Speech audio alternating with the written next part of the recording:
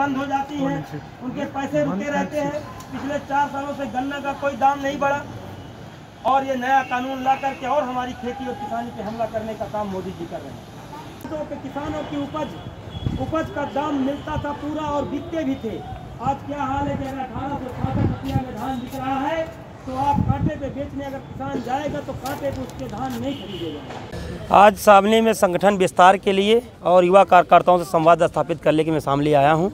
और भारतीय जनता पार्टी की जो जन विरोधी नीतियाँ हैं किसान किसान विरोधी नीतियाँ हैं, उन सबको आम जनमानस तक पहुँचाने और समाजवादी पार्टी की विकास की विजन की जो नीतियाँ रही हैं, उसको लोगों तक बताने आया हूँ। और गाँव में दो एक चौपाल करके उन लोगों को अवगत कराने का काम करूँगा।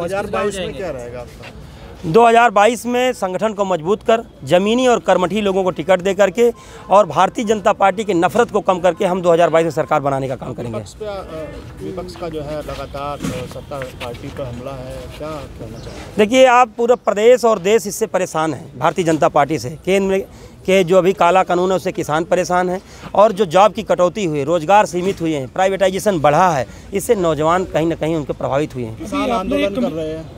तो समाजवादी पार्टी उनके आंदोलन के साथ है और लगातार समाजवादी पार्टी गाँव गाँव चौपाल करके बताने का काम कर रही है और किसानों की लड़ाई के साथ खड़ी है। अभी प्रोग्राम में आपने कमीशन को लेकर एसपी, विधायक, डीएम और एमपी को भी घसीटा है ये क्या मामला है? देखिए, किसानों का जो उपज का दाम मिलना चाहिए, अठारह सौ रुपया में धान बिक रहा है हर जगह कुंटल के दर पे।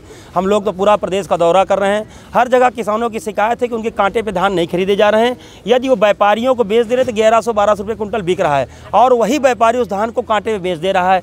अगर व्यापारी कांटे बेच रहा कांटा खरीद रहा है, और किसानों का आरोप है कि उसमें से चार सौ रुपया स्थानीय भारतीय जनता पार्टी के विधायक और सांसदों को जा रहा है, तीन सौ रुपये में डीएम, एसडीएम और व्यापारी खा रहे हैं। यही आरोप है, सारे किसानों को, पूरा प्रदेश के किसान हालाकान है, परेशान है। और आप देखिए कि लंबी लंबी लाइनें लगी हैं ट्रैक्टरों की, उनके लंबे लंबे नंबर दिए गए हैं। पूरी तरह से कानून व्यवस्था भ्रष्ट है।